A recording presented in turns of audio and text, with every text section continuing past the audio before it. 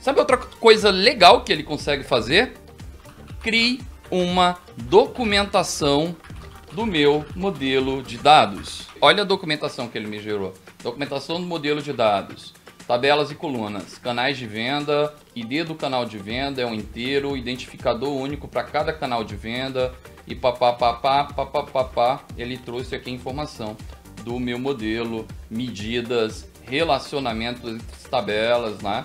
É, e toda a documentação, a documentação pronta aqui do nosso modelo. Show de bola?